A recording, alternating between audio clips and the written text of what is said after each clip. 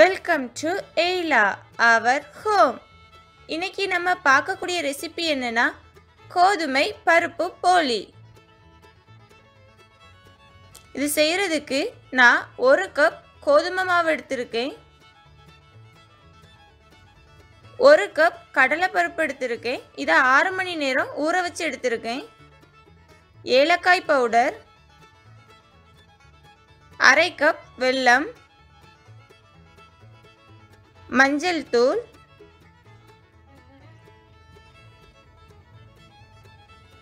எண்ணெய்.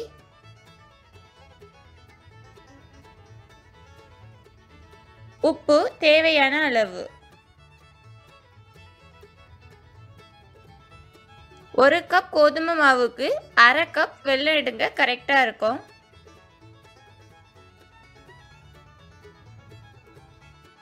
இப்போ கடலைப்பருப்பை நான் அவிக்க போகிறேன்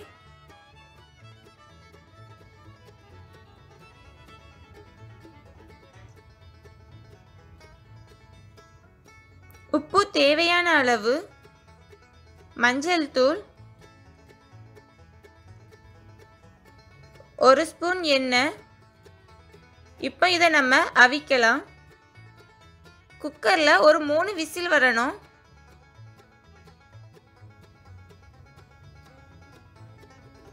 இப்போ ஏர் நல்லா போயிடுச்சு. நம்ம இதை ஓப்பன் பண்ணலாம். பருப்பு நல்லா வெந்துடுச்சு.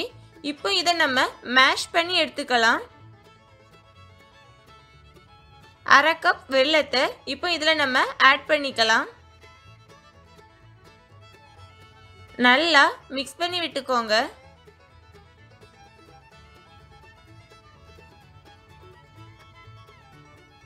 ஒரு கப் கோதுமை மாவு எடுத்திருக்கேன். அதில் தேவையான அளவு உப்பு ஆட் பண்ணிக்கணும்.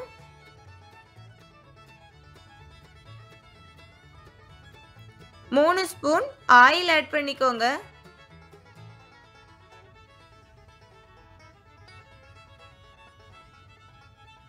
இதை நல்லா மிக்ஸ் பண்ணி விட்டுக்கணும்.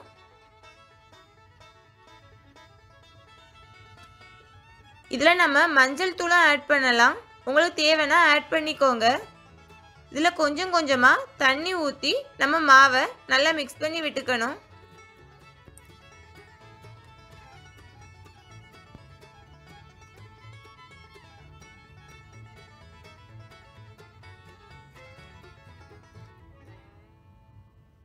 நம்ம போலி செய்கிறதுக்கான மாவு ரெடி ஆயிடுச்சு. இதை ஒரு அரை மணி நேரம் ஒரு மூடி போட்டு மூடி வச்சுக்கோங்க. போலிக்கு உள்ளே வைக்கிறதுக்கு ஃபில்லிங் ரெடியாக இருக்குது இப்போ இதில் நம்ம வாசனைக்காக கொஞ்சம் ஏலக்காய் தூள் ஆட் பண்ணிக்கலாம். இதை நல்லா மிக்ஸ் பண்ணி விட்டுக்கோங்க.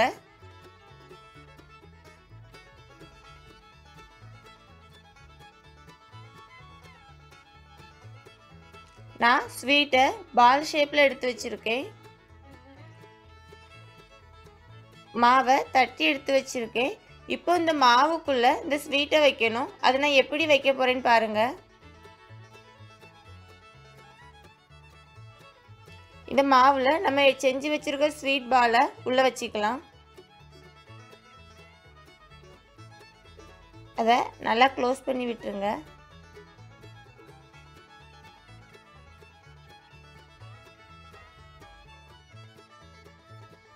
இப்போ இதை நம்ம சப்பாத்தி உருட்டுற மாதிரி உருட்டி எடுத்துக்கலாம். நம்ம உள்ளே வச்சுருக்க ஃபில்லிங் வெளியே வந்துடக்கூடாது.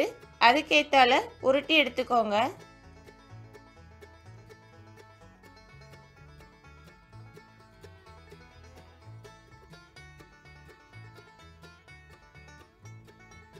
நான் கோதுமை மாவு யூஸ் பண்ணியிருக்கேன். நீங்கள் மைதா மாவு யூஸ் பண்ணியும் பண்ணலாம்.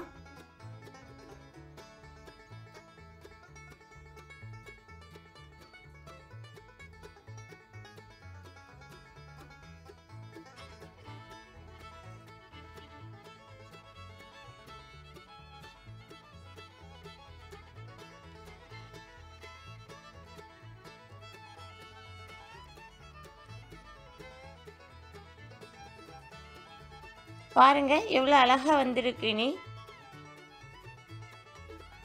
இப்போ நம்ம இதை பேனில் போட்டு எடுக்கலாம்.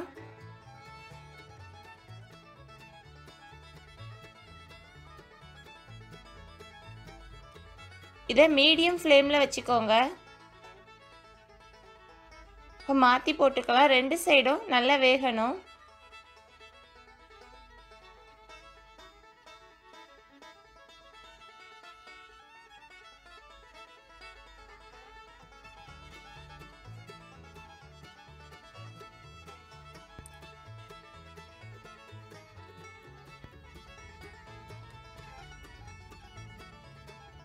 இப்போ நம்ம இதில் கொஞ்சம் பட்டர் ஆட் பண்ணிக்கலாம்.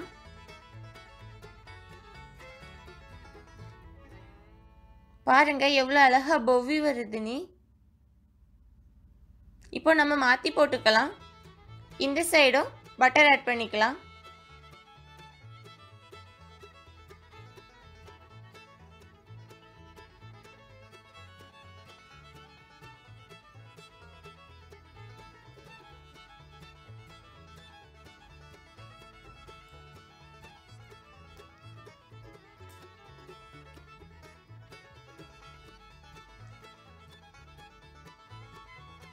இப்போ நம்மளோட கோதுமை பருப்பு போலி ரெடி.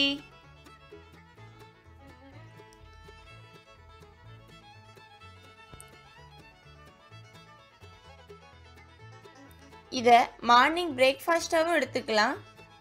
ஈவினிங் ஸ்நாக்ஸாகவும் எடுத்துக்கலாம். ரொம்ப ஹெல்தியானதும் கூட குழந்தைகளுக்கு இது ரொம்ப பிடிக்கும். நீங்களும் கண்டிப்பாக ட்ரை பண்ணி பாருங்கள் டேஸ்ட் நல்லா இருக்கும்.